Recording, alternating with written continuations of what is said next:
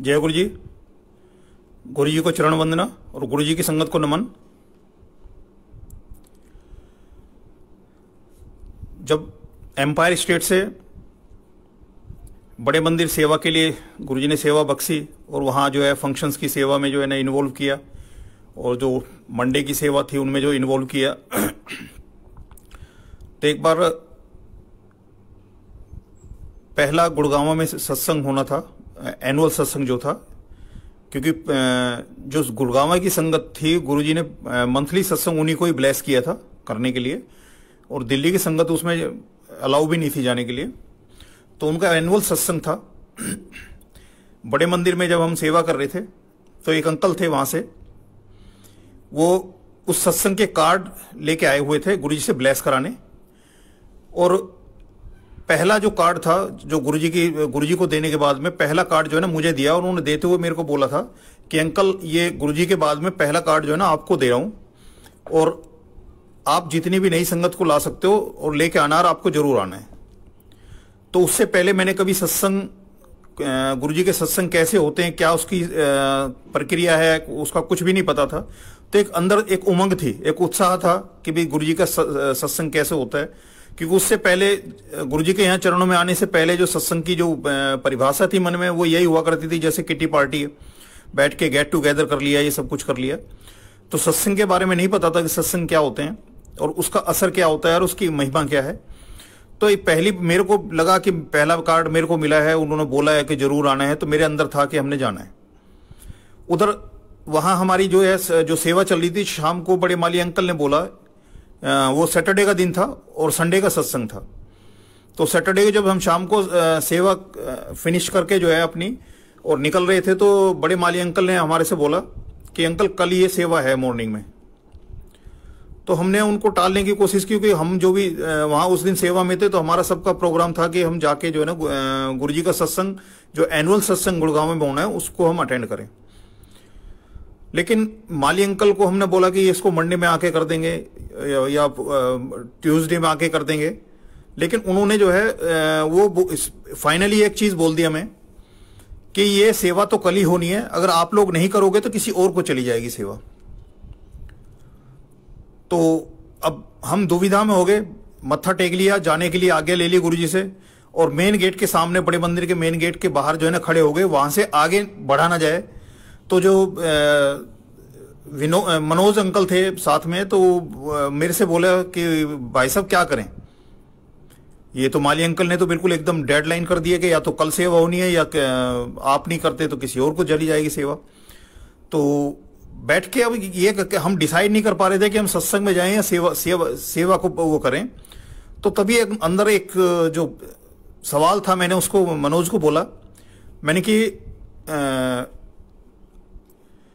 मैंने कि एक, हमें कोई किसी के बर्थडे की या किसी की एनिवर्सरी की, किसी की शादी का कार्ड मिलता है या कि इन्फॉर्मेशन मिलती है कि भाई वहाँ आ पाइए।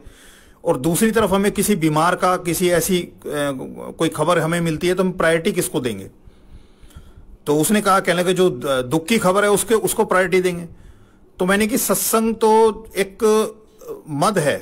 आदमी खो जाता है उसमें। अपने आसपास का भी उसको ख्याल नहीं रहता और उसके, उसमें बह जाता है उसमें। लेकिन जो सेवा है, सेवा तो किसी चीज़ को कोई बिगड़ा हुआ है, कोई चीज़ है जिसको मेकअप करना है, ठीक करना है, उसको ठीक करना है।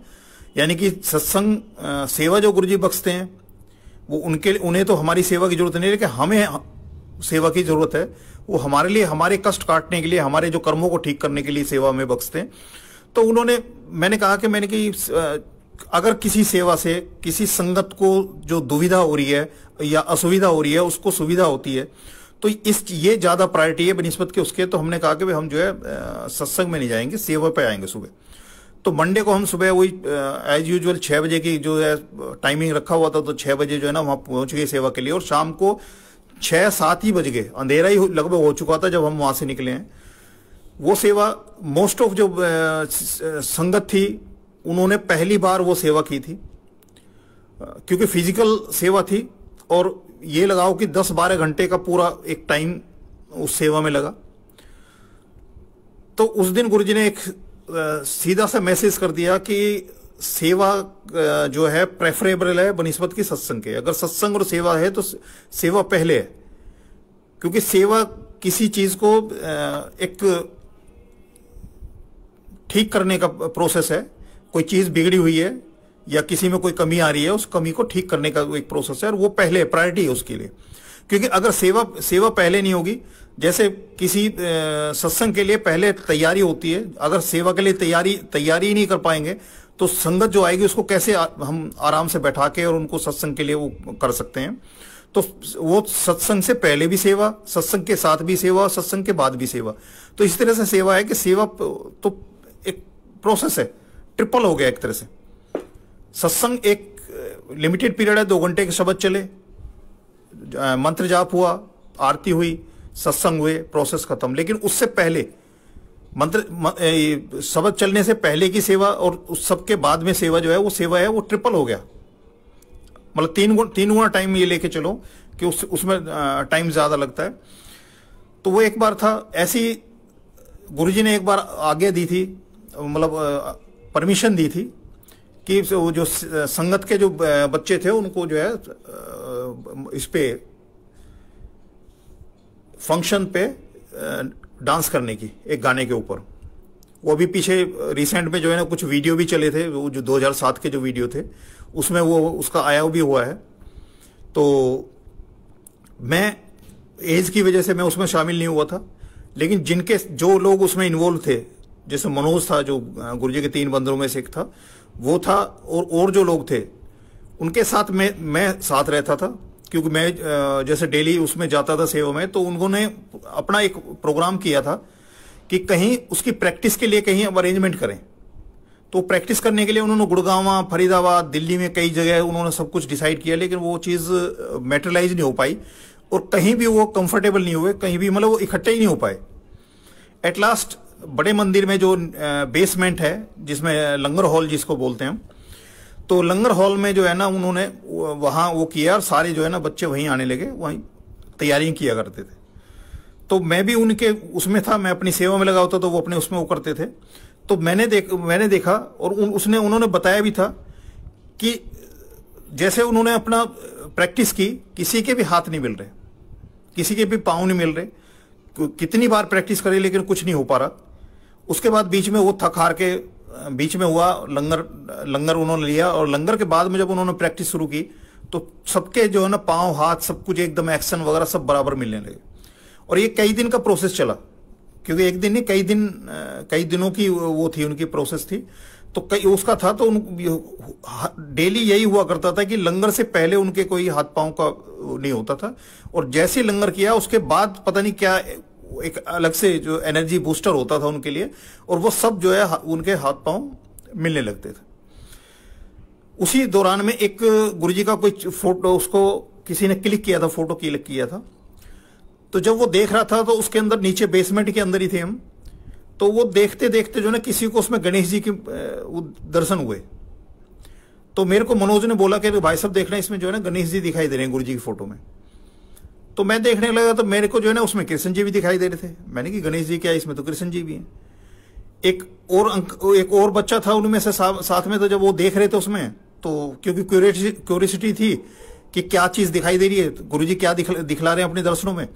तो एक कोई और और देखने लगे तो उनको जो है ना गुरु नानक देव जी दिखाई देने लगे।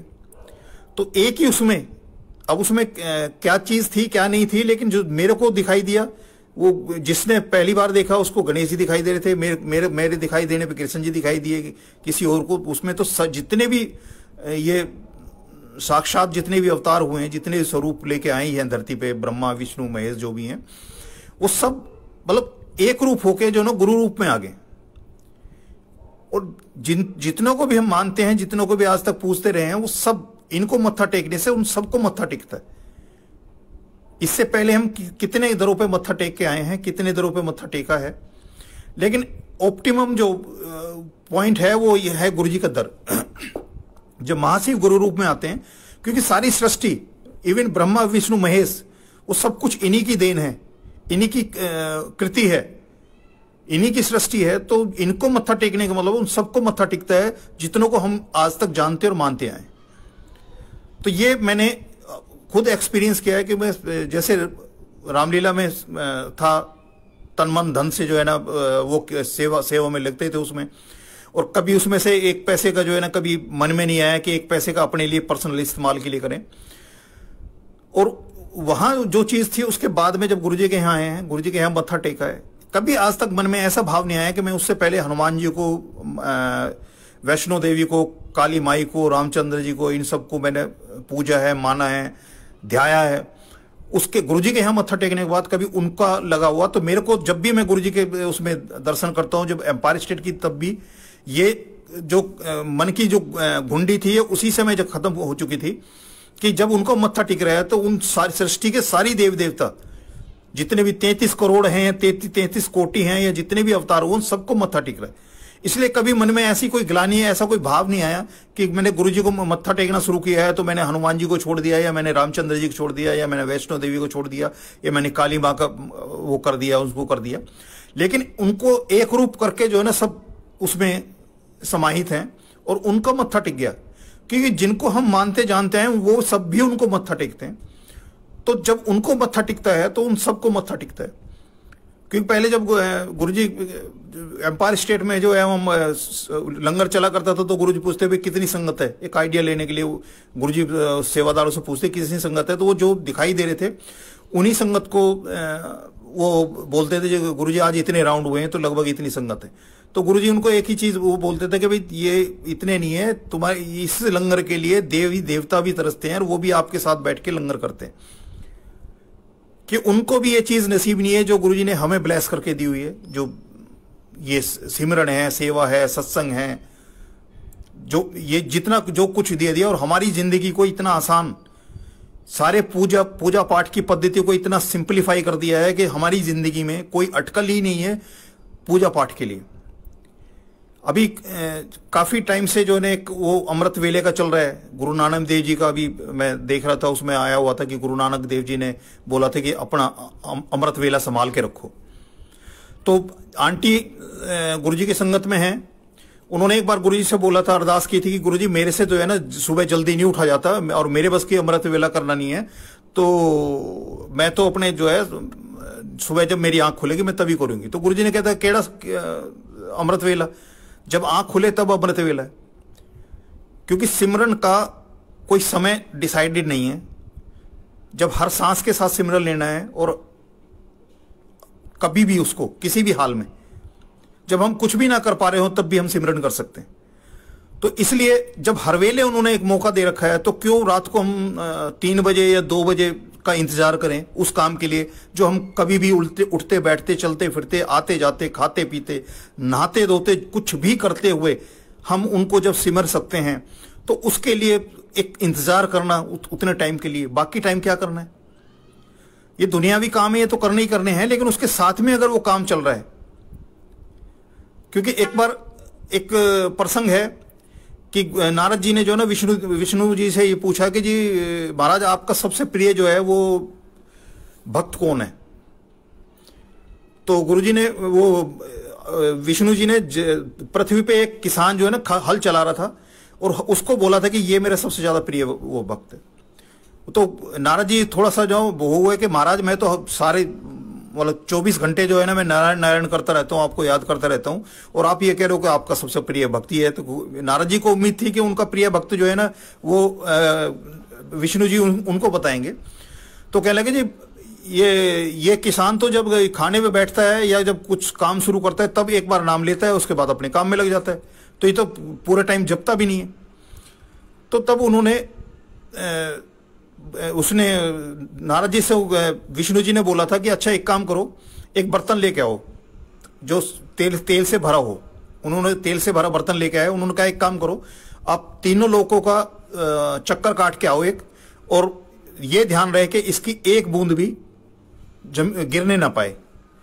तो पूरे नारद जी जो है ना, पूरा घूम के जो है, चक्कर काट के जब विष्णु जी के पास आए तो विष्णु जी ने बोला कि हाँ जी, सारे उसमें तीनों लोग में घुमा है, कर हाँ जी।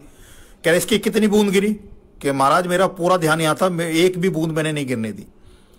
तो कहने का अच्छा एक चीज़ बताओ, इस पूरे चक्कर में तुमने कितनी बार मेरा नाम लिया? कि महाराज, मेरा सारा ध्यान तो इस पे था कि इसकी एक बूंद ना गिरे। आपने बोला था कि इसकी एक बूंद नहीं गिरनी चाहिए। तो कह जब इतना ध्यान तुम्हारे होने के बाद तुम एक बार भी नाम नहीं ले सके, और वो किसान इतना बिज़ी होने के बाद भी अगर मेरा वो नाम ले लेता है एक बार तो तुम्हारे से बड़ा है नहीं है। क्योंकि किसान के पास कोई पूजा पाठ का कोई धूप बत्ती, अगरबत्ती फूल माला उसका कोई मौका नहीं था, ना टाइम था, ना करता था। लेकिन जो जितनी भी अरदास करता था, वो दिल से करता था। और मन से करता था, पूरे भाव से करता था, जब भी समय था। तो हमारी ज़िंदगी भी है तो हम जब, जो काम हम हर समय कर सकते हैं, उसके लिए एक खास स्पेसिफिक टाइम बनाने का हमारे हमारे पास मौका कहाँ है? जब 31 मई 2007 में जब गुरुजी ने चोला छोड़ा था, उस दिन मैं ऑफ़िस में था तो मेरे को मनोज का फ़ोन आता है कि भाई साहब गुरुजी को जो है ना एम्स में लेके आए मैंने क्या हुआ कह पता नहीं लगा कि क्या हुआ है, लेकिन ये एम्स में लेके आए कुछ प्रॉब्लम है। तो मैंने अपने इंचार्ज से बोल के मैंने कहा, मैं ऐसे ऐसे जा रहा हूँ मैं काम से। तो मैं उसको बोला था कि चलो मैं एम्स पहुँच रहा हूँ। लेकिन उतने में उसका फिर फ़ोन आ गया। मैं निकला ही था ऑफ़िस से कि भाई साहब जो है गुरु जी को जो है ना, बड़े मंदिर ले जा रहे हैं तो आप जो है ना बड़े मंदिर पहुंचो। उस समय बड़े मंदिर में रिनोवेशन बहुत चल रहा था। बड़े हॉल जो मेन हॉल है, उसके अंदर भी पूरा स्ट्रक्चर बना हुआ था, पूरा काम चल रहा था। और लगभग पूरे मंदिर में जो है ना रिनोवेशन का काम चल रहा था। तो गुरुजी को जब वहाँ ले जाने की बात थी तो ये था कि वहाँ पहले पहुँच के जो है ना कुछ सेवा करें जो वहाँ ऐसी व्यवस्था उसके लिए उसके लिए जो है ना भागने वाली बात थी। तो जैसे मैं पहुँचा तो सतबड़ी से पहले एक, जो बंद रोड से पहले जो है ना रास्ता ब्लॉक था। 31 मई 2007 को गुजर आंदोलन था, आरक्षण के बारे में कुछ वो था, और उस रास्ते में जो गुजर लोबी है, उन्होंने रोड के ऊपर कुछ अपने टायर वगैरह जला के, इस तरह करके रोड ब्लॉक वगैरह किए हुए थे। तो अब हमें और कोई रास्ता पता नहीं था। 2006 से उसी रास्ते में जा रहे हैं, उसके अलावा कोई रास्ता पता नहीं था। वहाँ हमें रोक दिया गया कि भाई, आप आगे नहीं जा सकते, आगे खतरा है कि इस इस तरह का चल रहा है मामला। किसी ने बताया भी दिया, ऐसे पीछे घूम के चले जाओ, लेकिन हमने कहा, जो दो चार संगत वहाँ इकट्ठी हुई थी तो हमने बोला कि भाई, इस रास्ते पे सारी बेल्ट जो है इनकी है। अब जिस रास्ते से हम जाते हैं, उसका तो पता है हमें रास्ता कैसे, कहाँ, किधर को निकलता है, लेकिन नए रास्ते पे चले जाए कहीं जाके फंस गए तो मुश्किल हो जाएगा। लेकिन 20 मिनट के अंदर ही वो पता लगा कि जो पूरा रास्ता खुल चुका है, गुरु जी कृपा से, और हम बड़े मंदिर गए। इतना सारा कुछ था कि गुरु जी के वहाँ पहुँचने से पहले उस जितना भी स्ट्रक्चर लगा हुआ तो सब कुछ आउट हो गया। नीचे पूरी पानी से धुलाई होगी, सब कुछ एकदम साफ़। पूरा मतलब जो सिस्टम था, सारा एकदम एकदम ठीक ठाक हो गया। वहाँ जब गुरुजी को लेके आए थे तो उसमें था, वो शीशे के उसमें, जिसमें दिखाई दे रहे थे, लेकिन हमें चेहरे से देखने से मेरे को तो नहीं लगा। मुझे तो यही लगा कि गुरु जी का कोई करिश्मा है और कुछ बताना चाहते हैं। ज़िंदगी और मौत का कोई अध्याय है, उसके ऊपर कोई नई इबारत लिखने की वो कर रहे हैं। और ये ज़्यादातर संगत को यही भरोसा था कि जो दूसरों को ज़िंदगी बख्शते हैं, उनके लिए इस जीवन की कोई वो नहीं है कि उनके लिए कहीं से वो करनी पड़ेगी। लेकिन एट लास्ट ये हुआ कि वे गुरुजी जो है ना फाइनली चोला छोड़ चुके हैं। फिर वहाँ गुरुजी को जैसे महापुरुषों के लिए होता है कि महापुरुषों के कभी भी शरीर को अग्नि में वो नहीं कराया जाता दाह संस्कार नहीं होता उनका।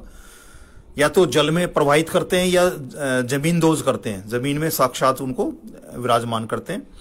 लेकिन वो सारी व्यवस्थाएँ जो हमने पहले सुनते थे या देखते थे या करते थे, वो सारी अटकलें, सारी जो गांठें थी गुरुजी ने खोली हैं। और उसी में एक ये ये भी गांठ थी कि वो इतने साक्षात महाशिव के रूप उन्होंने अपने जो जो शरीर था, उसकी जो व्यवस्था हुई, उसमें वो नॉर्मल एक जो इंसान के साथ जो है, एक दाह संस्कार जो होता है, उसी उसमें प्रोसेस में हुआ और जो गुरुजी के भतीजे हैं, उनको ये ऑनर मिला कि वो गुरुजी को जो है ना, के दाह संस्कार को सरंजाम दें। तो उस समय क्योंकि हम हमारा तो मतलब गुरुजी ने सेवा तो एम्पायर स्टेट में भी कराई कर, कराते थे और बड़े मंदिर में भी जो है ना सेवा चलती थी। लेकिन उतना नहीं था कि उस जो पहला सर्किल था कि गुरुजी के आसपास भी दूर दूर तक भी हमारा मौका लगे कि वहाँ तक हम पहुँच जाएँ।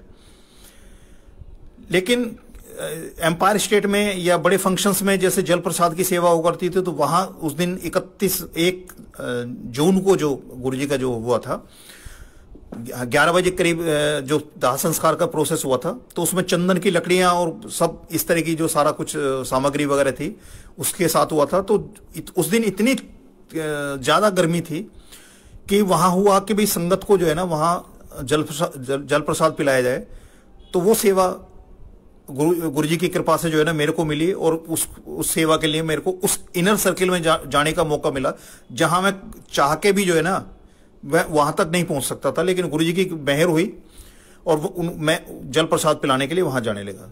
तो आहिस्ता आहिस्ता करके वहाँ से संगत जो है ना जब एक कपाल क्रिया का प्रोसेस होता है उसके बाद में लगभग हम शमशान से भी जो है ना अपने रास्ते मुड़ लेते हैं अपने घरों की तरफ़ चल देते हैं। और वहाँ से भी काफ़ी संगत जो है वहाँ से अपने उसमें वहाँ से निकल चुकी थी।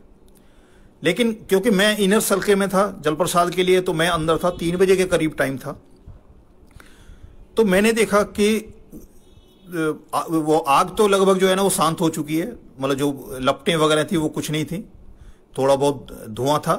लेकिन मेरे को उसके अंदर जो ना गुरु जी की जो जो धड़ वाली जो हिस्सा है वो मेरे को विजिबल था, दिखाई दे रहा था। तो बड़े माली अंकल थे तो मैंने अंकल को बोला, मैंने कि अंकल, इसमें तो जो है ना ऐसे ऐसे अभी इस शरीर के रूप में गुरुजी किसको दर्शन देने के लिए इसको रोक के रखे हैं? पता नहीं तो मैंने कि अंकल इसमें तो दिखाई दे रहे मेरे को तो। तो अंकल ने देखा तो अंकल कह कि हाँ इस, इसको तो अभी लकड़ियों की ज़रूरत पड़ेगी। तो उससे पहले बत, मैं बता दूँ कि इससे एक जुड़ा हुआ जो सत्संग है इससे इकतीस मई 2007 से पहला जो सत्संग था कि जब हम फ़ंक्शन की सेवा करते थे तो उसमें एक दो बार जो है ना नाग वगैरह संगत को एक दो बार जो नाग नाग के दर्शन हुए थे उन्होंने तो संगत जो है ना डर जाती थी।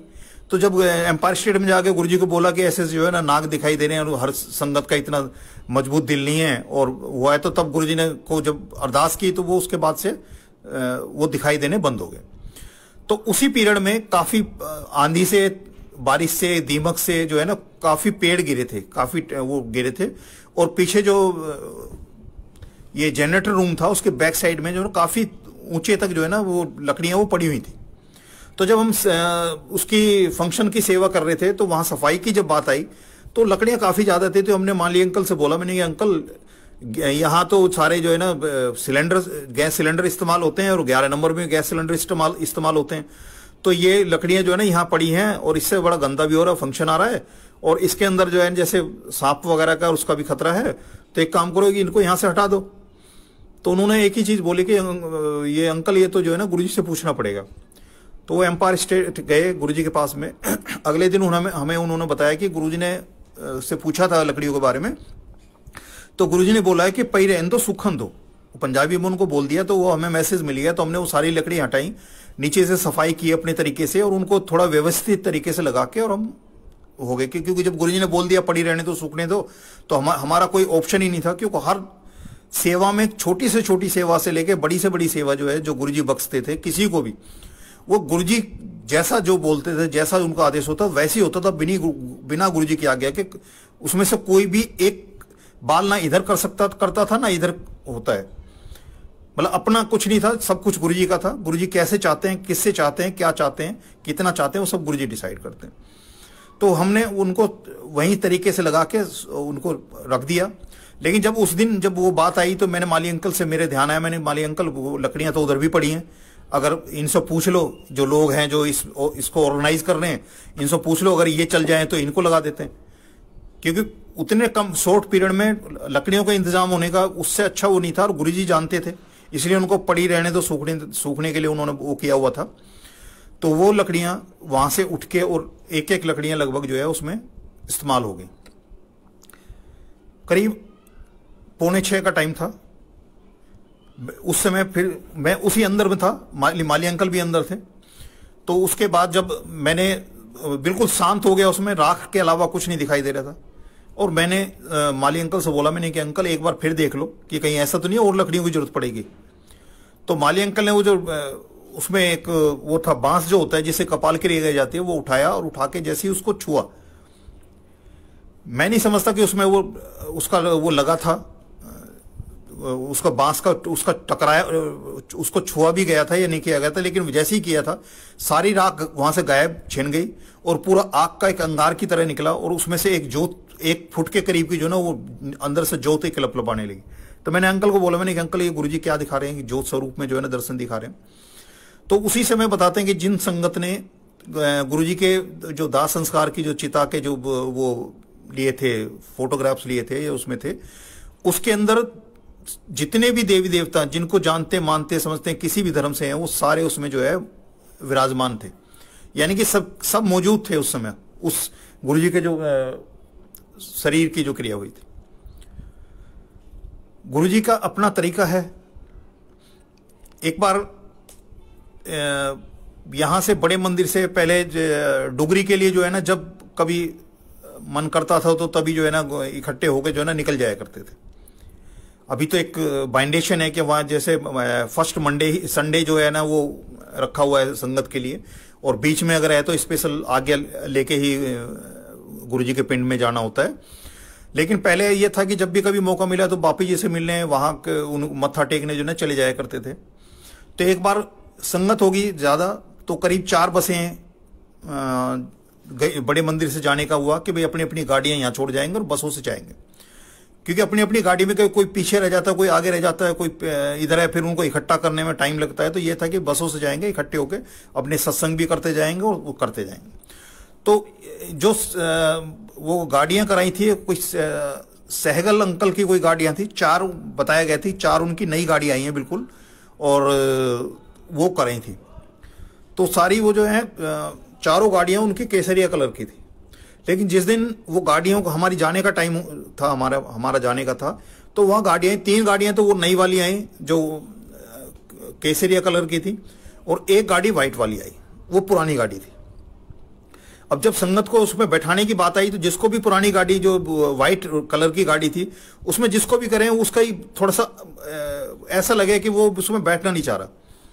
अब हुआ क्या कि जो, नई गाड़ियाँ थी उसमें तो सारे एडजस्ट हो गए और उस पुरानी गाड़ी में जो है ना बड़े मुश्किल से मतलब हम लोग का नंबर आया फिर कि भाई हम अपने इसमें चले जाते हैं इसको अगर कोई वो पसंद नहीं कर रहा इस यहाँ चले जाते हैं।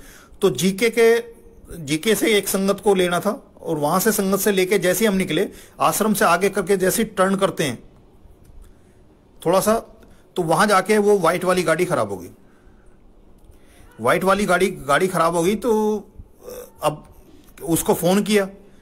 कहने लगे, जी, ये तो गाड़ी तो ज़्यादातर जो है ना, संगत ये कहने लगी, जी पहले ही लग रहा था ये गाड़ी जो है ना, पुरानी, नई गाड़ियों के साथ में ये चलेगी नहीं, और ये गाड़ी खराब होगी। तो उसने बोला कि, भाई वो जो इसके साथ की एक गाड़ी है, नई वाली जो गाड़ी है, वो भी ऑन द वे है, और उसको एक डेढ़ घंटा लगेगा आने में, और मैं अरेंज करता हूँ उसको करने के लिए। अगर इतना वेट कर सकते हो तो आप वेट करो उसको। तो हम वहीं करीब दो घंटे हमें लगे तो वहाँ रुके हम उसकी वेट में। वो जो नई गाड़ी उसकी आई, सारी जो पुरानी, जो व्हाइट वाली थी, उसमें उसमें बैठे हम सारे, और चारों गाड़ियाँ जब वहाँ पहुँचती हैं, जब हम वहाँ वहाँ से वापस आ रहे हैं, वहाँ मत्था टेक के गुरु जी के यहाँ डुगरी में मत्था टेक के जब वापस आ रहे हैं तो एक अंकल मेरे से बोले कि, अंकल, एक चीज़ समझ में नहीं आई। मैंने कि, क्या अंकल? मैंने कि, वो वो कहने लगे कि, अंकल, हम यहाँ करीब दो घंटे तो हमने उसकी वेट की, और इतने बजे हम यहाँ से चले।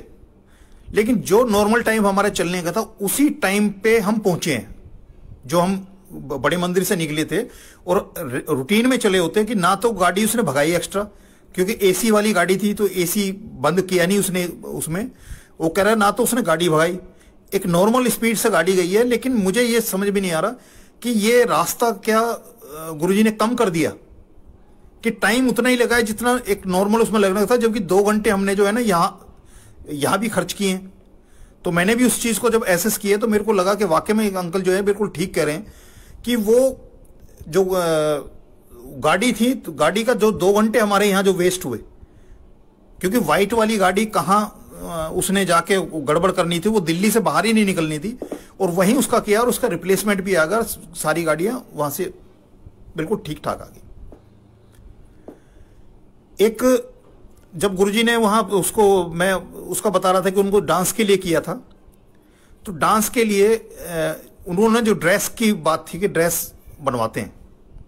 वो पंजाबी उसमें जो है ना, कुर्ता और नीचे उस टाइप की जो है ना, वो सिलवाने की बात आई। तो बड़े मंदिर से जो गुरुजी के तीन बंदर हैं, उसमें से जो विनोद अंकल थे, वो गाड़ी चला के ले गए थे एक अंकल की, चेतन अंकल थे, उनकी गाड़ी हमने ली थी। और मैं ड्राइवर के साथ वाली सीट पे बैठा था और मनोज जो है वो पीछे बैठा था। तो हम जब बड़े मंदिर से चले हैं चाँद चौक में किनारी बाज़ार, वहाँ जो कपड़ा मार्केट है, वहाँ से वो जो है ना, वो सनील टाइप का वो जो है वो कपड़ा वगैरह चूज़ किया। तो वहाँ से अब बात आई, जब वहाँ से निकले हम कपड़ा लेके तो हम बात आई कि इसको अब इतनी जल्दी सील के कौन देगा? तो हम जमुना पार गए थे। मेरे छोटा भाई है, उनकी जो वाइफ है, वो सिलाई सिलाई कढ़ाई का काम करती हैं। तो उनके पास हम लेके गए कि भाई, वो जल्दी से जल्दी यही होगा कि वो प्रायोरिटी पे जो ना सील भी देंगे। तो उनको हम दे के कपड़ा जब वापस बड़े मंदिर में आए हैं, बड़े मंदिर पहुँचे तो चेतन अंकल को चाबी दी मैंने कि भाई, इसको जाके पार्क कर आओ। वो पार्क करके आया तो मेरे से बोला कि अंकल, मैं आपसे आपसे नाराज़ हूँ। मैंने कि क्या हुआ नाराज़ की बात, क्या है इसमें? उसने बोला कि, अंकल, आपने गाड़ी में पेट्रोल क्यों डलवाया?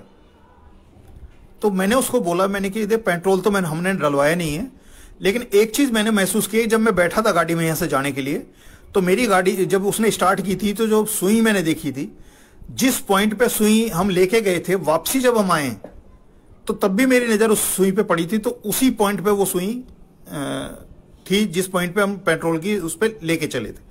तो मैंने कि मैं स्कूटर मास्टर हूँ, स्कूटर में चलाता हूँ, गाड़ी की माइलेज के बारे में मुझे कोई नॉलेज नहीं है, ना मैंने, मेरे को पता है कि कितनी माइलेज देती है, पर यह चीज़ मैंने महसूस की है। तो यह है कि गुरुजी ने जो सेवा बख्शी, और जिस, उस सेवा के लिए उनकी गाड़ी गई है, उनका एक भी बूंद पेट्रोल खर्च नहीं हुआ, जबकि लगभग सत्तर किलोमीटर गाड़ी जो है वो चली ड्राइव हुई। अब मुझे नहीं पता कि वो गाड़ी का कि क्या एवरेज होती है और उसमें कितना उसका पेट्रोल जो है ना खर्च होना था, लेकिन जिस पॉइंट से हम लेके चला था उस गाड़ी को उसी पॉइंट पे आके वो वहीं रुकी हुई थी वो। और उसी को देख के उसने मेरे से बोला था, ये आपसे नाराज़ हूँ। ऐसे ही गुरुजी के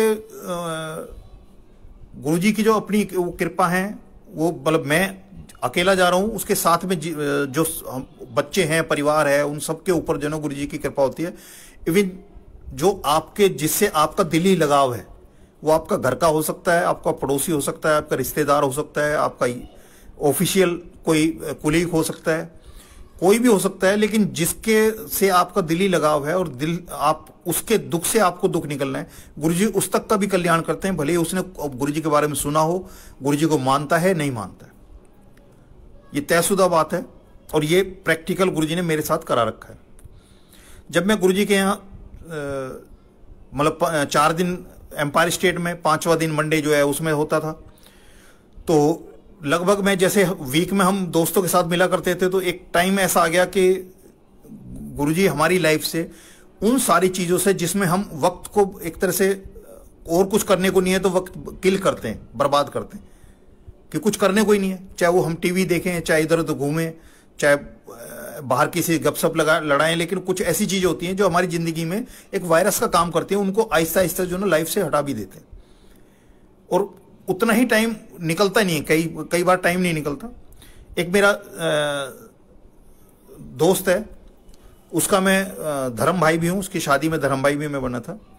तो एक बार मुझे पता लगा कि उनके मदर हिमाचल से दिल्ली आए हुए हैं, कोई उनकी तबीयत खराब है, दिक्कत है उनको, और वो दिल्ली आए हैं इलाज कराने के लिए। तो मैं उनके यहाँ गया, उनका हालचाल पूछने तो मैंने देखा कि उनके पाँव में जो है ना कि एक घाव है, और घाव इतना अंदर तक गहरे चला गया कि तीन बड़ी पट्टियाँ जो है ना दवाई में भिगो कर डॉक्टर अंदर घुसाया करते थे। तो जब मैं उनको देखने गया था तो मेरे को दोस्त ने बताया था कि डॉक्टर ने बोला है कि जी ये पाँव काटना पड़ेगा, अदरवाइज़ ये जो है ना गैग्रीन हो सकता है, ये पूरी बॉडी में फैल सकता है ये चीज़, जो गलाव जो शुरू हो चुका है। तो उस समय गुरु जी के जो है दर्शन थे मेरे पास में, जो क्लिप वाले थे। तो मेरे अंदर एक भाव हुआ कि भाई मैं आंटी को उनको बोलूँ, हालाँकि वो हिमाचल की हिंदी भाषा बहुत कम बोलते थे और बहुत कम समझते थे, लेकिन मैंने उनको बोला, मैंने कि आंटी, आपको जब भी कोई दिक्कत हो, कोई तकलीफ़ हो, कहीं दर्द हो तो ये गुरुजी को बताना आप और इन्हीं को दिखाना।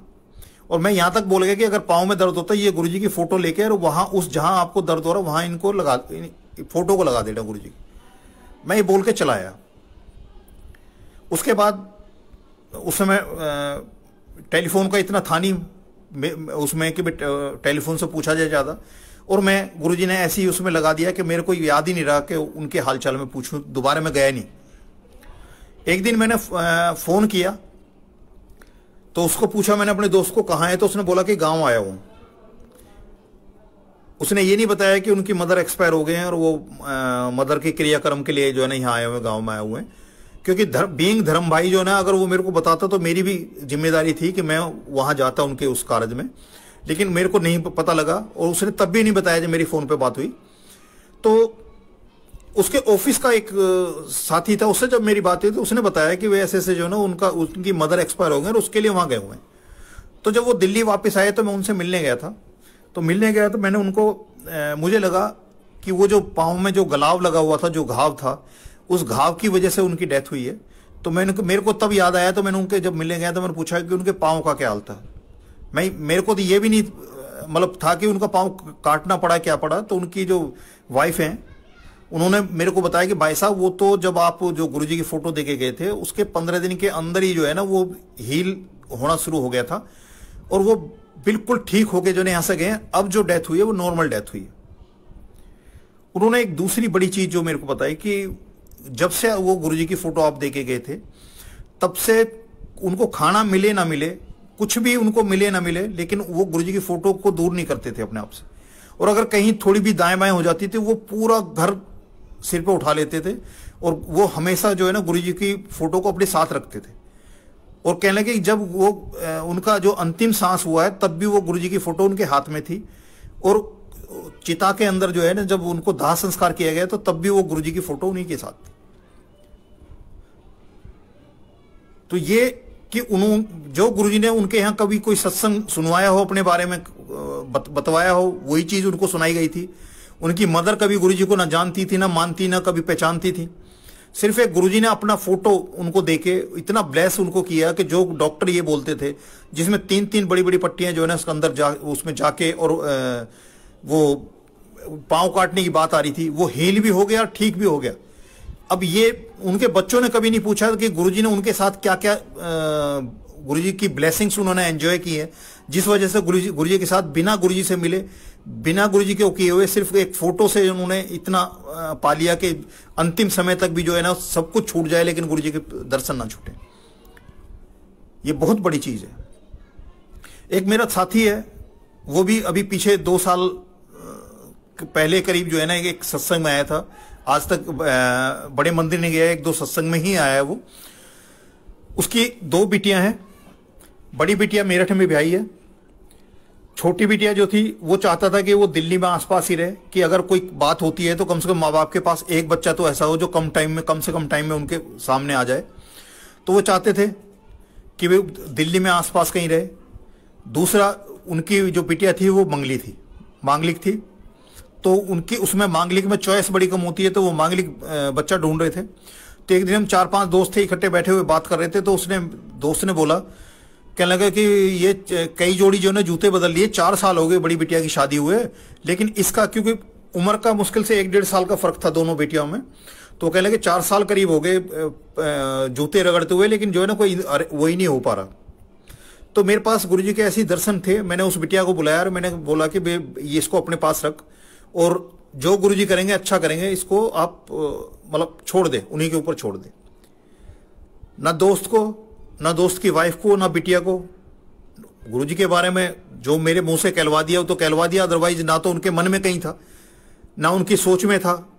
लेकिन क्योंकि मे, मेरा उनके साथ कंसर्न था मेरा उनके साथ दिली लगाव था तो इसलिए वो जो गुरु जी के फ़ोटो उस बिटिया को देखे हैं उसके बाद एक रिश्ता आया उनके पास में। और रिश्ता जिसने बताया तो वो जब गए वहाँ उनके पास में तो उन्होंने लड़का देखा लड़के के बाद लड़की दिखाई। फिर बैठ बैठ के जब आगे बातचीत हुई तो उन्होंने बोला कि जी, मेरी लड़की मांगलिक है। तो जो उनके लड़के लड़के की माँ ने जो है ना बोला, कहने की जी, आप एक काम करो, आप जो है ना अपनी बिटिया की कुंडली जो है ना जन्म पत्री भिजवा दो तो हम भी दिखवा लेते हैं। तो उसने अपने भतीजे के हाथ जो है ना उनके यहाँ कुंडली भिजवा दी। और वहाँ जब उन्होंने मिलान वगैरह कराया तो एक हफ़्ते बाद उसने फ़ोन इसलिए किया कि वो तो सर्टेन है कि उनका लड़का मांगलिक नहीं है और उनकी लड़की मांगलिक है तो लिहाजा बात तो बननी नहीं है। तो उसने ये फ़ोन करने के लिए था कि उसको बेटे को भेज के कम मैं उसको वापस मंगा लेता हूँ, उसकी जो जन्म पत्री है। जैसे उसने फ़ोन किया, कहला हाँ जी, वो दिखाई कह हाँ जी, तीन बड़े बड़े पंडितों को हमने दिखाई है और आप कैसे कह रहे हो कि मांगली यो, आपकी लड़की मांगलिक है? उन्होंने तो किसी ने बताया नहीं। अब वो बचपन से, वो भारद्वाज ब्राह्मण है। इस बारे में उनको खुद भी पता है जन्मपत्री भी बोलती है, लेकिन वो कहते हैं तीन बड़े बड़े पंडितों को दिखाई है, लेकिन इस, वो, उसको मांगलिक ही नहीं बता रहे। तो उसके, उनके अंदर का जो, उसमें, उसके जो जन्मपत्री में या उसके ग्रहों में जो मांगलिक वो था दोस्त था, वो कहाँ गायब हो गया पता नहीं। तो जब फाइनल बात करने के बाद उन्होंने कहा हमें कोई एतराज़ नहीं है, आप आके बात कर लो। जब उनकी बात हुई तो डेट ऑफ़ बर्थ की बात जब बात आई तो मेरे दोस्त को पता लगा कि जी, उनकी बिटिया जस्ट एक साल बड़ी है उनके बेटे से। तो उसने बोल दिया, स्पष्ट वक्ता था, सच बोल दिया कि जी, मेरी बिटिया जो है ना, आपके बेटे से एक साल बड़ी है। तो उनकी जो बेटे की मदर थी, लड़के की मदर थी, उन्होंने बोला कि जी, लड़की हमने देखी है और अपियरेंस में लड़की जो है, लड़के से चार साल छोटी दिखाई दे रही है। तो हमें कोई ऑब्जेक्शन नहीं तो आपको क्या ऑब्जेक्शन है बताओ? तो उन, वो, उन्होंने शादी हुई। आज एक बेटा और बेटिया उसको ब्लेस है। जैसा वो चाहते थे कम परिवार, दिल्ली के आसपास हो, मुश्किल से पाँच या छह किलोमीटर का डिस्टेंस हो उन दोनों के परिवारों में। और सिर्फ़ एक छोटी सी उससे गुरुजी ने उनका कल्याण कर दिया। ऐसे एक दोस्त मेरे साथ हंसा करता था, क्योंकि हमारा वीकली एक होता था कि एक दिन हम जो है ना, पाँच दोस्त जो है ना इकट्ठे होकर मिला, बिताया करते किसी के यहाँ भी जाके। पूरा दिन साथ रहते थे। तो जब गुरुजी के यहाँ मैंने जाना 2006 से शुरू किया तो वो प्रोसेस जो है टूट गया। वो सिस्टम नहीं हुआ कि मैं उनके पास नहीं जाया करता था, क्योंकि चार, पाँच दिन वहाँ और दो दिन कोई सेवा का, जैसे बुधवार की सेवा बड़े मंदिर में शुरू की थी, और मंगलवार का भी कुछ होता था तो सातों दिन जो है ना गुरु जी के उसमें ही रहना शुरू कर दिया। तो उनके पास जाने का टाइम ही नहीं लगता था। तो जब भी वो फ़ोन करता था मेरे को तो वो था कि या तो मैं गुरु जी के यहाँ जा रहा होता था या गुरु जी के यहाँ से आ रहा होता था या गुरु जी के यहाँ होता था। तो वो मेरे को हंसता था कहने लगे कि अच्छे तुम्हारे गुरुजी गुरुजी ने जो ना हमारा एक दोस्त ही छीन लिया। तो मैंने उसको बोला कि भाई दोस्त तो क्या गुरुजी ने तो एक अच्छी जगह दिखाई है और मेरे को उन्होंने सा, पहले सा, सामने लाए और तुम सबके लिए भी ऑप्शन है तुम सब लोग आओ। लेकिन एक हमारी एक मान्यता होती है कि जब हमें दुख होगा या हमें जब कोई बीमारी होगी तभी तो डॉक्टर के पास जाएँगे। जब कोई समस्या होगी, जब किसी पंडित को, ज्योतिषी को दिखाएँगे, जब सब कुछ ठीक है तो हम किसको करें?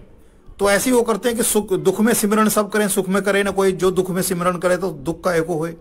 तो यही है कि दुख में सिमरण करते हैं, दुख आता है, तब नाम सिमरते हैं, सुख सुख में सिमरण भूल जाते हैं।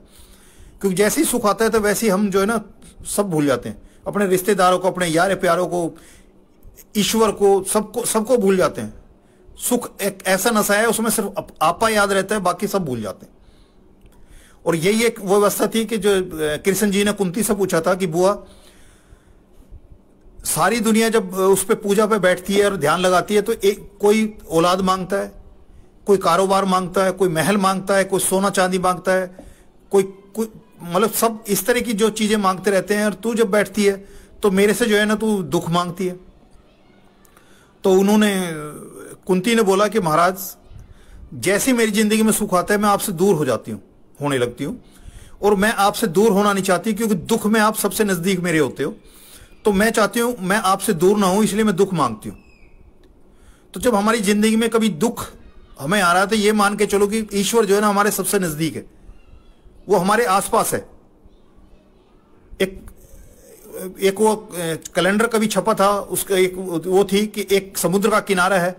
वो पहले जो चार पाँव चल रहे हैं और कुछ कुछ दूर के बाद में जो है ना वो उधर से वो, आ रही हैं और उधर से देखते हैं कि उसके बाद आगे आगे जो सिर्फ़ दो पाम है। तो वो बोलता है कि महाराज जब मतलब मेरे पास जब मेरे पास सब कुछ ठीक ठाक था जब तो आप मेरे साथ थे और जब आप जब मेरे ऊपर जो है ना टाइट्स का वो अटैक हुआ तो तब जो है ना सिर्फ़ आप ही आप थे। मैं आपने टाइट के हवाले कर दिया। तो उन्होंने एक ही चीज़ बताई थी कि वो जो चार पाँव थे जब तक सब कुछ ठीक ठाक था तब तक तो तुम पैदल थे। लेकिन जैसे ही तुम्हारे ऊपर मुसीबत आई तो मैंने तुम्हें गोद में उठा लिया था। तो इसलिए तुम्हारे पाँव के निशान आगे नहीं चल पाए। तो यही होता है कि जब हमारे साथ दुख होता है तो वो हमारे सब सबसे नज़दीक होते हैं। तो मेरा दोस्त बोलता था कि उसने आ, हमारे गुरुजी ने मे, मेरे को छीन लिया उनसे। तो मैं उनको यही बोलता था कि मेरे को एक अच्छी जगह दिखाई है, एक अच्छा रास्ता दिखाया है, और उस दर पे जो है ना, आप सबके लिए ऑप्शन है कि आप भी आओ और गुरुजी की ब्लेसिंग्स को एंजॉय करो। लेकिन नहीं, उसकी समझ में नहीं आता था। एक बार उसका एक छज्जे का वो टूटा हुआ था तो वो अपने आप ही झड़ रहा था तो उसको बोला कि भाई इसको ठीक करा लेने, कोई कैजुअलिटी हो जाएगी, और किसी के लग गया तो मुसीबत हो जाएगी तो उसने जो है जिस दिन मिस्त्री लगाए तो मजदूर उसको तोड़ रहा था दो गली के दोनों किनारों पे वो लोग खड़े हुए थे कि जिससे कि कोई इधर से उधर ना जाए, कि वो उसके टुकड़े टूट के ना लग जाए। तो पड़ोस में कोई फ़ंक्शन था। उस फ़ंक्शन में कोई रिश्तेदार आए हुए थे, उनका बच्चा हाथ छुड़ा के अपनी माँ का और उसमें से क्रॉस कर गया और ऊपर से पत्थर उसके सिर पर लग गया और वो बेहोश हो गया। हॉस्पिटलाइज हो गया। किसी प्यारे ने जो है ना सौ नंबर पर फ़ोन करके पुलिस को बुला लिया, मुकदमा दर्ज हो गया। अब वो उनकी मदर मदर के नाम था मकान तो लेकिन उसने जो है ना कि मदर को कहाँ कहाँ वो लेके घूमेंगे, उसने जो है ना अपने आप को जो है ना प्रेजेंट किया। और वो सरकारी नौकरी पे था तो उसको अब लगा कि भाई सरकारी नौकरी है, मुकदमा दर्ज हो गया तो उनको नहीं पता कि मुकदमे में गलती किसकी है, लेकिन डिपार्टमेंट में, सरकारी डिपार्टमेंट में यही है कि मुकदमा हो गया तो उसके खिलाफ जो है ना डिपार्टमेंट एक्शन भी शुरू हो जाते हैं। तो चाहता था कि उससे उसका पीछा छूट जाए। तो जो जिसके बच्चे को चोट लगी थी ट्रांस यमुना में वो वो हुआ था जो इंसिडेंट था, और जिसके बच्चे को लगी थी, वो बदरपुर से आगे मीठापुर का रहने वाला था। अब उसके, उसको जो है ना, वो जहाँ, जिस हॉस्पिटल में वो एडमिट था, उसका बच्चा, वो उसको वहाँ देखने जाता था, सुबह देखने जाता था, शाम को देख के ही घर आता था, उसके हालचाल पूछ के। तो उससे पहले उसने उसको ऑफ़र किया था, कह भी ऐसा है कि इस बच्चे का जितने भी इलाज में खर्चा होगा तो उसको मैं पे कर दूँगा और क्योंकि मेरे यहाँ काम होते हुए लगाया तो उसने बोला था उसके बच्चे के फादर ने, कह जी ये कोई आपने जानबूझ के थोड़ी किया है? ये तो बच्चा ही हाथ छुड़ा के भाग गया तो अब इसमें आपकी क्या गलती है? और कोई बात नहीं है। लेकिन तीसरे, चौथे दिन जो है ना, वो शाम को जब ऑफ़िस से उसके, वहाँ गया, हॉस्पिटल गया उस बच्चे का हालचाल पूछने तो उसका बाप जो है ना, वो बिफर गया। और उसके बाप ने बोला, कहना कि जी आप जो है ना, यहाँ इसलिए रोज रोज आते, सुबह शाम आते हो कि मेरा बच्चा मर गया या ज़िंदा है? वो कहने भाई, कैसी बात कर रहे हो? बच्चा तुम्हारा है, मेरा एक ही है। कह रहा, नहीं जी, इसके बच्चे के सिर में चोट लगी और डॉक्टर ये बोल रहे हैं, जी, इसकी याददाश्त भी जा सकती है, ये कोमा में भी जा सकता है, कुछ भी हो सकता है, और ये सारी ज़िंदगी के लिए बेकार भी हो सकता है। तो वो कहने लगा भाई, मैंने तो तुम्हें वो बताया था कि भाई आप जो है, इसको जो इलाज का खर्चा है मैं दे दूँगा। कह रहे हैं, जी, अब इलाज से बात नहीं चलेगी, क्योंकि कुछ पुलिस वाले भी ऐसे होते हैं कि जो दोनों पार्टियों को, वकील और पुलिस वालों का जो मेन काम क्या होता है कि वो कभी भी उनको किसी भी इशू को मेटलाइज करने के उसमें नहीं होते। क्योंकि ये कुछ चीज़, कुछ ऐसे होते हैं कि वो अगर जल्दी से मेटलाइज होगा तो उनका जो हिस्सा पत्ती है वो नहीं मिलती। तो दोनों पार्टियों को उकसा के रखते हैं। अगर पहली तारीख में भी, पहली मीटिंग में भी अगर कोई फैसला होने जा रहा होता है तो वो उसको होने नहीं देंगे अपने फ़ायदे के लिए। और ज़्यादातर जो ये मुकदमे हैं या पुलिस के साथ जो इश्यूज़ होते हैं वो सब ज़्यादातर यही होते हैं। कि वो, उनको अगर वो बैठ के भी बात करना चाहते हैं, उनको बैठ के बात करने का भी मौका नहीं देंगे और एक दूसरे को इंस्टिगेट करते रहते हैं। क्योंकि उनका उनका जो भला क्या है, उनकी जो धूप बत्ती लगती है, वो यही लगती है। कि उनका, उसमें कोई लड़ेगा नहीं, कोई मरेगा नहीं तो उनको फ़ायदा कुछ नहीं होना तो वो उसी काम को करते हैं। उस लड़के के फादर को भी जो है ना, किसी ने ऐसे उकसा दिया। उसने बोला कि लगे जी, क्योंकि जैसे ही कोई एक्सीडेंट का केस होता है तो ये वकीलों का काम होता है कि जो है ना, उनके साथ टाइप रखते हैं पुलिस थानों से, और वहाँ से उनको फ़ोन चले जाते हैं कि जी ऐसे से ये एक्सीडेंट केस हुआ है। तो जो विक्टिम होता है, उसके यहाँ फ़ोन आने लगते हैं। उसके बाकायदा डिटेल और फ़ोन नंबर भी आ जाते हैं। फ़ोन आते हैं वकीलों के कि जी आप जो ना परसेंटेज पे मैं आपका मुकदमा कर देते हैं और seventy thirty sixty forty watt जो भी है कि जी आप अभी फ़ीस नहीं की है जो आपका कंपनसेशन मिलेगा। जो आपको वो मिलेगा, उससे कंपनसेशन उसमें से जो भी है उसको उसको कर लेंगे। तो यहाँ तक है कि उसको प्रमोट करते हैं। वो बैठ के उसको लेके चल रहा है तो वो पहले जो तीन चार दिन पहले ये बात कर रहा था, जी, आपकी कोई गलती नहीं है वो कुछ भी हो सकता था, मेरे बच्चे की गलती है, वो निकल के भाग गया और वो लग गया। लेकिन वो तीसरे चौथे दिन जाके उसने वो मेरे दोस्त को बोलने लगा कि, नहीं जी, अब ऐसे नहीं अब हम आपको कोर्ट में देखेंगे। उधर से जो पुलिस वाला था, वो इसको मेरे दोस्त को प्रेस करने लगा, कहने लगे, जी, कहने लगे, जी, या तो आप आउट ऑफ़ कोर्ट सेटलमेंट कर लो, जो करनी है अदरवाइज़ जो है ना, मेरी मजबूरी है कि 90 नाइन्टी डेज़ होते ही जो है ना, मैं इसको, इसका चलान जो है ना, उसमें कोर्ट में पेश कर दूँगा। अब मेरा दोस्त बड़ा परेशान। उसने पड़ोसी जो जिनके यहाँ वो आया हुआ था, जिसके फ़ंक्शन में आया हुआ था, उससे उसने बात की। उसने बताया कि जी ऐसे ऐसे यहाँ ब्रह्मपुरी में उनके बालाजी के भगत हैं और वो उनके गुरु हैं, उस लड़के के फादर के। और उनके यहाँ वो आया जाता है और उनकी बात बहुत मानता है तो एक काम करो, आप उनको बीच में लेके बात करो। वो उनके जो बालाजी के भगत थे, उनके पास गया। उनसे बात की, वो अपनी समस्या बताई कि ऐसे ऐसे बात है और वो इस तरह से वो भड़क रहा है। तो जो बालाजी के भगत थे, उन्होंने बोला कि जी, लड़का तो ठीक है, और हो सकता है बच्चे की चोट लगने की वजह से उसके दिमाग में थोड़ी परेशानी हो तो ऐसा कोई बात नहीं, और मैं आपकी बैठ के बात करा दूँगा, और ऐसी इतनी कोई बड़ी बात नहीं। लेकिन उसने काफ़ी कोशिश की तो वो दोनों की मीटिंग ना हो पाए तीनों की। कभी तो वो ये उसके बालाजी के जो भगत थे, वो ना अवेलेबल हो पाए, कभी वो मीठापुर वाला लड़का ना आए, कभी उस लड़के, मेरे दोस्त को टाइम ना लगे। तो लेकिन हम चार पाँच दोस्त बैठ के बात कर रहे थे तो मैंने उसके पूछा कि भी उसका क्या रहा, केस का क्या रहा? तो उसने कहा कि वो मीटिंग ही मेटेरियलाइज नहीं हो रही। कभी कुछ हो जाता है, कभी कुछ हो जाता है तीनों इकट्ठे ही नहीं हो पा रहे। तो क्या करें? यार, उधर से पुलिस वाला जो है प्रेस कर रहा है कि भाई इसको या तो कर लो, नहीं तो मेरे को मुकदमा उसमें फ़ाइल करना पड़ेगा कोर्ट में। मैंने उसको, वो मानता नहीं था। वो हंसता था कि गुरुजी ने हमारा दोस्त छीन लिया। और मैंने उसको, जेब से गुरुजी के वो एक फ़ोटो थे मैंने उसको निकाल के दिया। मैंने कि आगे कभी भी बालाजी के भगत के उससे बात करने जाए या उस लड़के से बात करने जाए तो गुरुजी की मौजूदगी में होनी चाहिए तेरी सारी बात। मैं ये बात कह के करीब एक घंटे का सफ़र तय करके मैं अपने क्वार्टर पे आ गया, डोमेस्टिक एयरपोर्ट के पास में। मैं घर पहुँचा हूँ, उसके थोड़ी देर बाद ही मेरे दोस्त का फ़ोन आता है उसका। कहने लगे बिलायती वो ऐसे से जो है ना, मैं जब घर गया तो घर पहुँचते ही मेरे बच्चे ने वो बताया कि जी, कल स्कूल में ये चीज़ चाहिए मेरे को। तो मैं उल्टे पाऊँ जो है ना, मार्केट चला गया, वहीं ब्रह्मपुरी। तो मार्केट में मैं जाता हूँ तो मेरी मुलाकात उस मीठापुर वाले लड़के से होगी, जिसके लड़के को चोट लगी थी। और मैंने उसको जब नमस्ते हुई, मैंने कहा भाई अब वो तो बात ही नहीं हो पा रही। और उनके साथ बैठ के बात करनी थी तो उसने बोला, कह रहे, जी, ठीक है, मैं गुरुजी के पास ही जा रहा हूँ और आप चलो, वहीं बात कर लेते हैं। तो कल मैं उनके पास जब गया तो जो बालाजी के भगत थे, उनके सामने जब बातचीत हुई तो उसने पहला ही शब्द शुरू किया उस लड़के ने कि जी, पाँच लाख से एक पैसे की कम की भी अगर बात कर रहे हो मतलब ये फैसला पाँच लाख में होगा, अगर एक पैसे भी इससे कम की बात कर रहे हो तो मुझे कोई बात नहीं कर रही, आप उठ के चले जाओ। तो उसने उन, उनके जो गुरुजी थे बालाजी के भगत थे उनसे बोला कि महाराज ये तो आप तो कह रहे थे लड़का ठीक ठाक है और ये तो इस तरह से बात कर रहा है। मैं छोटी मोटी नौकरी करने वाला हूँ मैं कहाँ से ये पाँच लाख रुपए लाऊँगा? मैं इतना तो हो सकता है कि जो मैंने ऑफ़र किया था कि भाई इसको जो इलाज में जो खर्चा होगा वो मैं दूँगा। लेकिन इतना तो मैं नहीं कर सकता। तो करते करते बातचीत हुई वो कहने लगा कि उसने फाइनली जो है ना डेढ़ लाख रुपए में फाइनल हो गया कि डेढ़ लाख रुपए और बीस तारीख रखी है कि बीस तारीख तक डेढ़ लाख रुपए दे देने। ये महीने के लगभग स्टार्टिंग की बात थी और उसने बीस तारीख दे दी। मेरे को उसने बताया तो मैंने, मेरे दिमाग में एकदम आया, मैंने उसको बोला अच्छा एक बात बता, जब तुम्हारी बात हो रही थी तो गुरुजी के सामने सारी बात हुई थी। तो उसने कहा हाँ बात तो गुरुजी के सामने हुई थी, लेकिन उसने फिर भी डेढ़ लाख रुपए मांग लिए। तो मैंने उसको बोला, मैंने कि भाई, एक चीज़ बता। उसने तो पाँच लाख मांगे तो ये बोला था कि एक पैसा भी अगर उससे कम आप सोच रहे हो तो आप जाओ, मुझे कभी बात नहीं करनी। और अब डेढ़ लाख है तो साढ़े तीन लाख जो छूट गए उसके बारे में आप बात नहीं कर रहे और डेढ़ लाख जो है उस, उसके बारे में बात कर रहे हो। वो बात हुई तो उसने मेरे को तीन चार दिन बाद फ़ोन करके मेरे को बताया कि बिलायती ऐसे से बात है कि वो जो बालाजी के भगत हैं वो अपने सारे चेलों को लेके और उनके परिवार को लेके पैदल जो है ना यहाँ से मेहंदीपुर बालाजी जाना है उनको बारह तारीख को।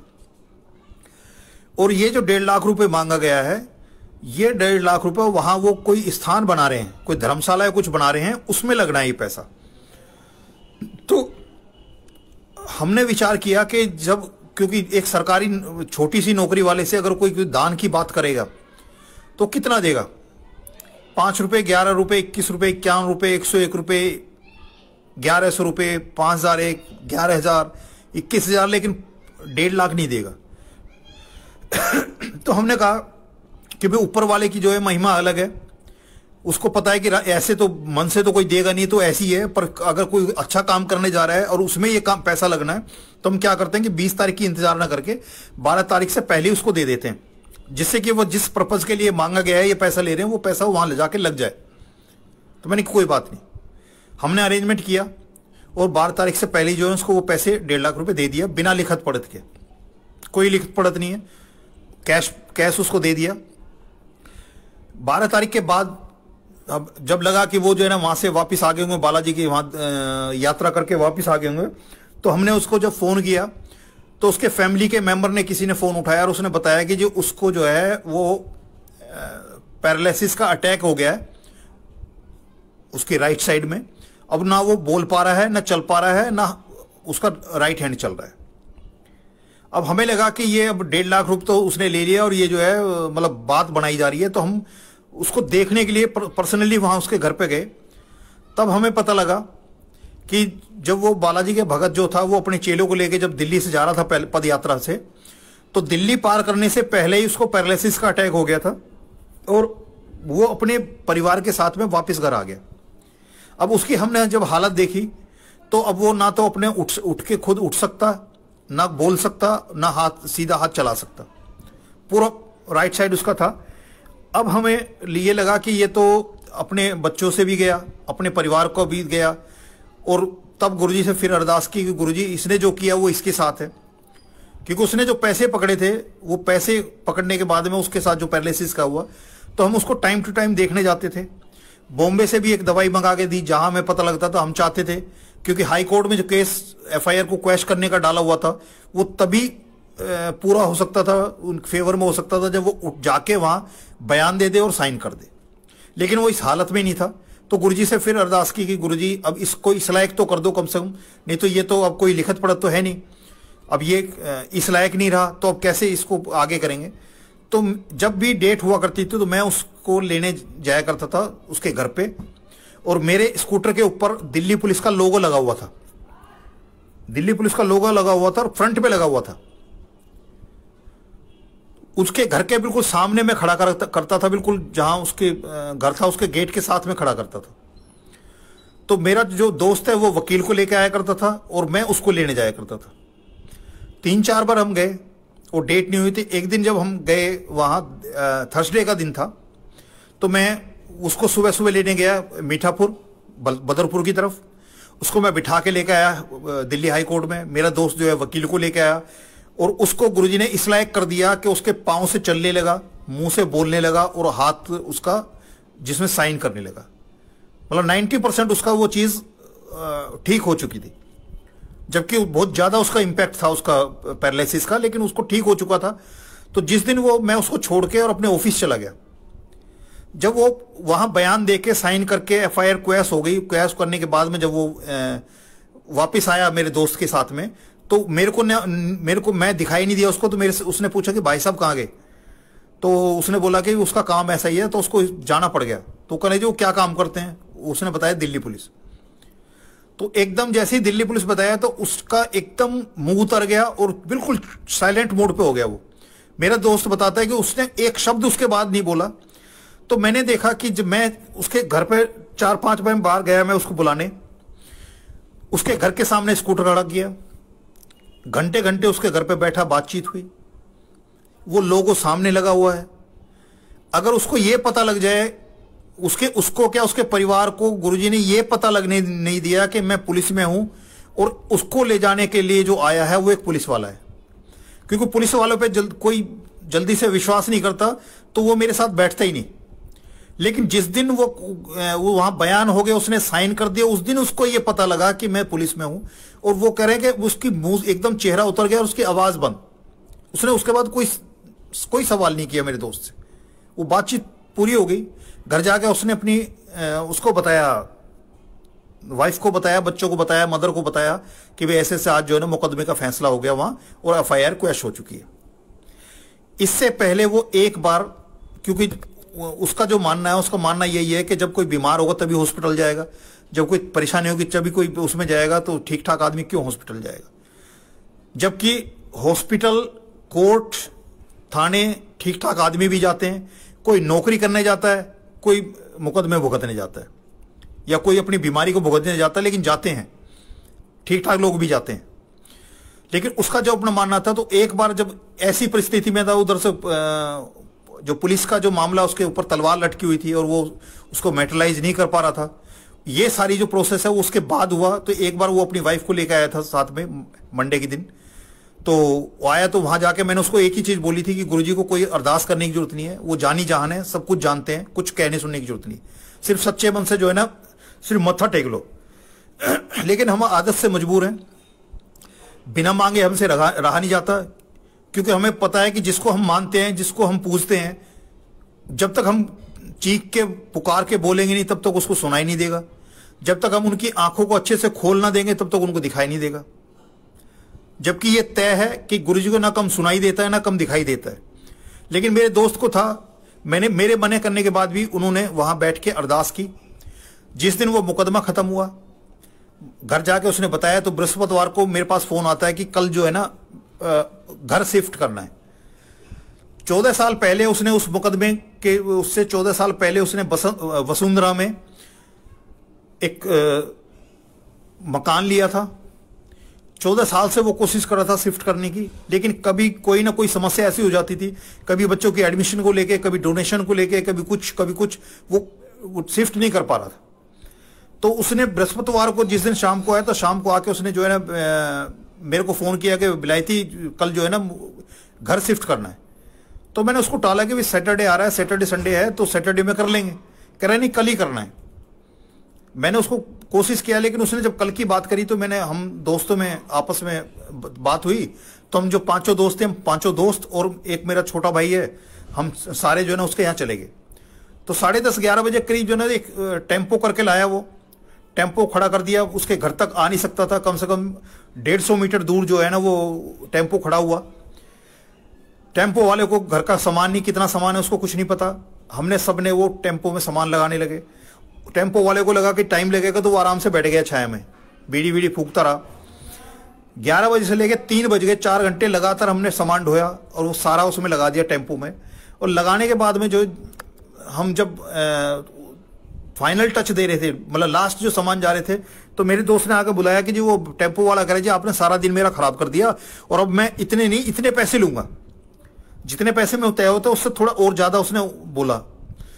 तो मैंने अपने दोस्त को बोला, मैंने कि चार घंटे करीब हो गए हमें सामान को ढोते हुए और अगर इसने, इसको हम मने कर देते हैं कि हमने ले जाना नहीं तो वापस रखने में भी इतना ही टाइम लगेगा।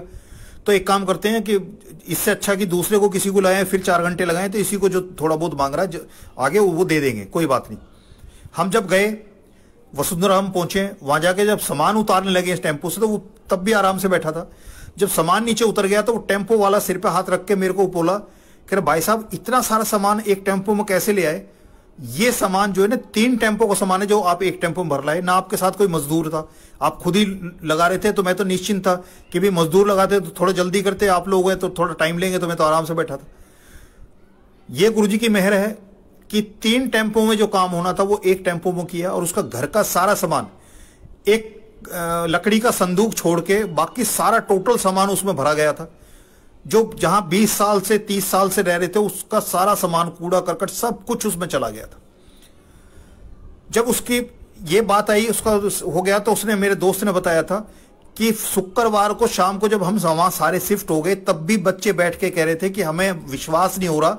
जब आपने कल हमें बोला था, भाई, पापा कि कल हम जो है ना शिफ्ट करने जा रहे हैं तो हमें ये था कि ये तो पिछले कई सालों से जो है ना ये चली आ रही है कि हर साल ये कहते हैं कि शिफ्ट कर रहे हैं और शिफ्ट नहीं होते। और कह रहे आज अचानक एक एक दिन में जो ना हम यहाँ के बैठ गए, हमें आज अभी भी विश्वास नहीं हो रहा कि हम शिफ्ट हो गए। उसके बाद उसने मेरे को एक दिन फ़ोन किया कि भाई मंडे को जो है ना वो मंदिर जाना है। मैंने मंदिर जाना है? कह रहा हाँ। कह रहा, वो जो है ना एक किलो लड्डू का प्रसाद चढ़ा के आना है वहाँ गुरु जी के मंदिर। तो मैंने कहा, बोला, मैंने कि गुरु को प्रसाद की तो ज़रूरत ही नहीं है। इसके लिए थोड़ी वो किया है। कह रहे, नहीं नहीं, वो जब हम गए थे ना तो हमने वो की थी, अरदास की थी कि अगर ये मुकदमे से हमारा वो पीछा छूट जाए तो जो है ना, हम जो है ना गुरु जी को जो है ना, वो प्रसाद चढ़ाने जाएँगे। तो जैसा और मंदिरों में चलता है कि हम हर जगह ये करते हैं कि भाई तू मेरे जो है ना, औलाद दे दे, मेरे बच्चे की नौकरी लगा दे, मेरी बीमार को ठीक कर दे। मेरा मुकदमे से पीछा छुड़ा दे, मेरे रिश्ते रिश्ते की जो है इसमें बहाली कर दे। तब मैं तेरा जो है ना कोई सोने के छतर चढ़ाने की बात करता है, कोई सवा मनी की बात करता है, कोई चलिया की बात करता है कि पहले तुम ये कर दो मतलब कॉन्ट्रैक्ट है कंडीशनल कंडीशनल है कंडीशन है कि तू मेरा ये कर दे, तब मैं तेरे ये करूँगा। यही मेरे दोस्त के साथ था कि उसने ये कहा था कि जब मेरा ये अगर पीछे, इससे पीछे छुट जाए तो मैं तुम्हारे यहाँ प्रसाद चढ़ाने जाऊँगा। यानी कि पहले नहीं है, पहले उससे कि तू पहले करके दिखाइए। पहले तू प्रूव करके हाँ तू ये कर सकता है, तब मैं तेरे करूँगा। तो ये, उसकी विश्वास का तो कहीं था नहीं। जिस दिन हम वहाँ उसके यहाँ गए गुरु जी के यहाँ जब वो लेके गया, एक किलो लड्डू कप डिब्बा लेके गया, वहाँ गए हम तो उसने मेरे को एक जो चीज़ बताई। उसने बताया कि जब पहली बार हम गुरु जी के यहाँ आए थे मतलब वो अभी तक पूरी लाइफ में दो ही बार आया है, लेकिन उसकी लाइफ का, उसके बच्चों का आमूल चूल परिवर्तन हो चुका है। एकदम से, पहला जो लाइफ का फ़ेज़ है, वो और अब जो है ना, ज़मीन आसमान का फ़र्क है। वो महसूस करे ना करे, वो माने या ना माने, लेकिन मेरे को पता है, क्योंकि मेरी नज़रों के सामने सब कुछ हुआ है। तो उसने उसने बताया कि जब पहली बार आए थे तो उन्होंने मना किया था, लेकिन मैंने, मेरा एक ये था कि ये मुकदमे से मेरा पीछा छूट जाए, मेरी तो ये अरदास मैं करके गया था। और मेरी वाइफ ने जो है ना, ये अरदास की थी कि उनकी बड़ी बिटिया जो है, वो बीटेक थी आईटी से। उसने ये कहा था कि मेरी बिटिया प्राइवेट सेक्टर में नहीं जाना चाहती तो सरकारी नौकरी लग जाए तो उस गुरुजी के यहाँ अरदास करने के दो महीने के अंदर वो पीएनबी में असिस्टेंट मैनेजर ज्वाइन कर चुकी थी। तो ये गुरुजी की कृपा थी, कह रहा, दो चीज़ तो हमारी मांगी हुई थी, और तीसरी जो चीज़ थी कि एक दिन के अंदर जो ना, मेरे को मकान शिफ्ट करा दिया, ये मतलब हमारी सोच से परे की चीज़ थी। वो वो बंदा जो ना आज तक जो है किसी गुरुजी के यहाँ कभी मंदिर में नहीं गया। कभी मुझे नहीं लगता कभी उस दिल के अंदर कोई भाव ऐसा हुआ, आया हुआ। लेकिन क्योंकि मेरा उसके साथ अटैचमेंट है, मेरी उसके साथ दिली लगाव है, इसलिए गुरुजी ने उस तक का कल्याण किया। तो गुरुजी, ज़रूरी नहीं है कि जिसको जिसके, जो गुरुजी के यहाँ जा रहा है, गुरुजी को कर रहा है, नहीं। जहाँ गुरुजी के बार, गुरुजी का जिसके साथ सत्संग हो जाए, गुरुजी के बारे में जिसको गुरुजी संगत से कहलवा दें गुरुजी उसको तभी से अपनी शरण में ले लेते हैं तभी से उसके उसका कल्याण शुरू हो जाता है। वो चाहे सालों साल आए या ना आए पहुँचे ना पहुँचे ये, ये अलग बात है। ये गुरुजी का अपना तरीका है। एक मेरी बिटिया एक बार इस उसके जब वो एग्ज़ाम दे, देने जाते हैं मेरे बच्चे जाते थे चाहे बोर्ड के एग्ज़ाम हो, चाहे फाइनल एग्ज़ाम जो होते थे तो मेरा था कि मैं छुट्टियाँ लेके जो है ना उनके साथ जाया करता था। और जब तक एग्ज़ाम देने के लिए लेके जाना और वापस एग्ज़ाम होने के बाद उनको वापस लेके आना घर, ये एक मेरा प्रोसेस था पूरी लाइफ में। चारों बच्चों के साथ किया। तो मेरी जो बीच वाली बिटिया थी गुरु जी के पास काफ़ी उसने मतलब मेरे साथ जो है ना, काफ़ी गुरु ने उसको अपने पास बुलाया उसको। और गुरु जी अपनी बेटी भी उसको बोलते थे। और एक बार जो है सुबह चार, साढ़े चार बजे जो वो मेरी बिटिया सोई और सुबह पहला उसका एग्ज़ाम था। साढ़े सात बजे करीब हमें जो दिल्ली यूनिवर्सिटी नॉर्थ कैंपस है उसमें जाना था, जो उसको एग्ज़ाम देने के लिए। तो मैंने, मैं उसको सुबह उठाया, नहावा धुआ के उसको मैं लेके गया। तो रस्त में उसको नींद की झपकी आई तो हाथ में वो पड़ती हुई जा रही थी स्कूटर पे। तो उसके पेपर वगैरह छूट गए हाथ से, बिखर गए। तो स्कूटर रोके वो पेपर वगैरह इकट्ठे किए और मैंने उसको बोला भी सोना नहीं है, स्कूटर पे पीछे बैठी हुई है और पीछे बैठने से कुछ गड़बड़ ना हो जाए तो इसलिए अपने आप को जगह रख। जब मैं वहाँ उसको गया वहाँ छोड़ दिया मैंने। पहला एग्ज़ाम हुआ। एग्ज़ाम होने के बाद जब वापिस आ रही थी वो तो झंडे वाला मंदिर से पहले जो है, एक वो फैज रोड से एक डाउन वो पड़ता है। वहाँ मैं उसमें रेड लाइट पे खड़ा था। मैंने लेफ़्ट में लेफ़्ट में जाना था।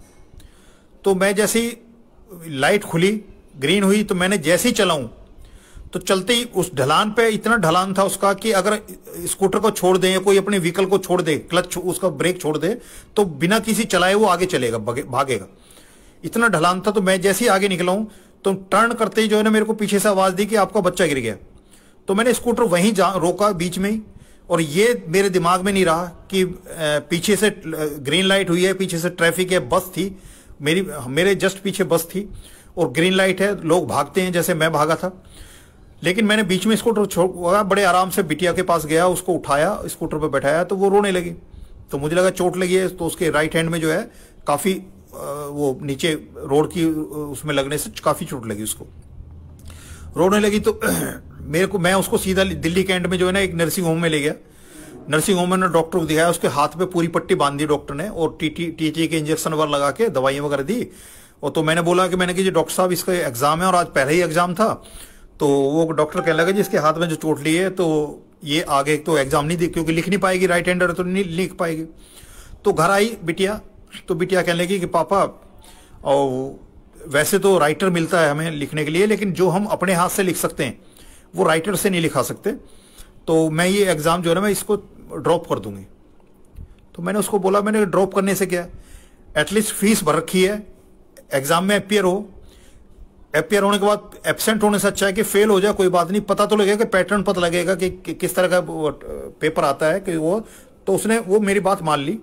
तो एक दिन छोड़ के एक दिन था। तो जैसे आज चोट लगी है कल का दिन उसके पास था परसों जो है फिर मैं सुबह